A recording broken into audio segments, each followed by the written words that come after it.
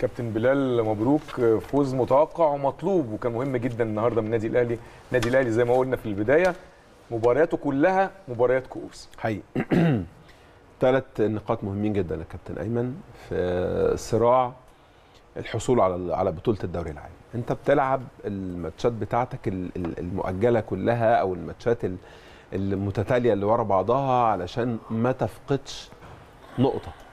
لأن خد بالك انت من من كوارث الدوري العام ان يبقى لك سبع ثمان ماتشات بينك وبين ال- ال- اللي ترتيبه الأول أو بينك وبين بيراميدز. دي من كوارث الدوري العام. ليه؟ بتحط ضغط عليك رهيب جدا جدا في كل مباراه انت بتلعبها.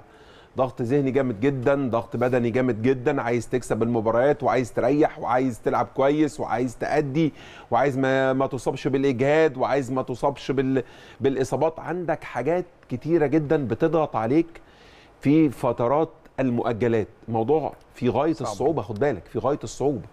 النهارده فقدت لعيب وارد المباراة اللي جاية تفقد لعيب تاني. أنت المباراة النهارده يوم ال...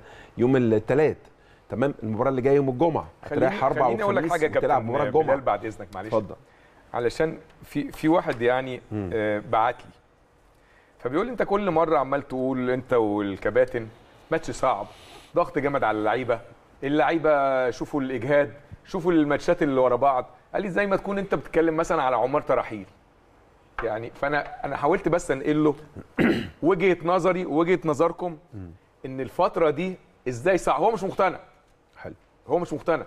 بس إحنا عايزين نفهمه إزاي الفترة دي فعلا صعبة على النادي الأهلي. خد بالك هي صعبة على كل فريق. ده نهاية موسم. خد بالك صعبة على كل فريق في موقف النادي الأهلي. اولا صعبة من الناحية النفسية. تمام؟ إزاي من الناحيه النفسيه يعني أنا النهارده لازم نفنطها. آه أنا النهارده معلش أنا بيني وبين اللي, اللي لاعب مبارياته م- متس... متتالية ورا بعضها في جدول ترتيب منتظم غير الجدول بتاعي أنا بيني وبينه سبع ثمان مباريات. صح؟ مظبوط. هو راجل بيكسب ماشي عادي يخسر يكسب ماشي عادي. فأصبح الفارق أنت بتتكلم في حوالي 20 نقطة مثلا يعني مثلا 20 نقطة. طيب ما أنا بلعب تحت ضغوط غير عادية تمام في في المؤجلات ال- ال- ال- الم- المؤجلات بتاعتي. ليه؟ لأن أنا كل ماتش خايف على النقطة. كل ماتش المدير الفني خايف اللعيبة تتصاب.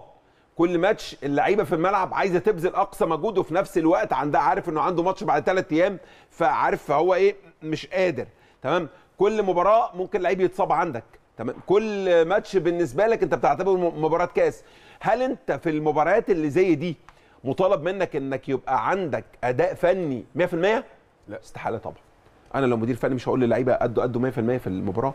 أنا هنظم الأداء داخل الملعب أثناء المباراة. فيبان في الملعب إن المباراة مش حلوة فنيا. تمام؟ أنا أنا سع... أنا كمدير فني ممكن ما استمتعش بال... بالماتش بتاعي. لو إحنا منوهين على لكن الكلام ده بدور بس في خد بالك لكن. بس بدور على المكسب. يعني الأهلي عمل إيه النهارده يا كابتن؟ الأهلي فضل ضاغط لحد ما سجل الهدف صح؟ بعد ما سجل الهدف cool down the game صح كده؟ مظبوط. عملت freezing لل game. وخد بالك ولو جبت الجول قبلها ب 10 دقائق كمان هتعمل نفس اللي عملته بعد ما سجلت الهدف في الدقيقة حوالي 80 أو أو حاجة و70 ودي طبيعة المباريات المخنوقة اللي زي دي. دي طبيعة المباريات ال- ال- المتتالية اللي زي دي. لأن أنا كمدير فني ما أقدرش أضحي بتيم كامل وأقدر اضحي بدوري عام علشان في, في, في سبيل مباراة واحدة ألعبها بشكل فني آه، وأداء فني رائع. لا أنا هنظم كل مباراة بلعب فيها. يعني أنا النهارده لو أنا أنا النهارده بقول.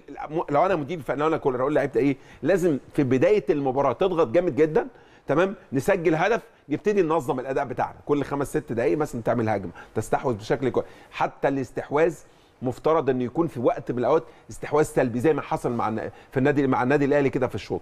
أنا مش عايز إن يتحول الأمر إن أنت تدافع لأ. أنا بتكلم على طريقة اللعب يا كابتن شريف. يعني إيه؟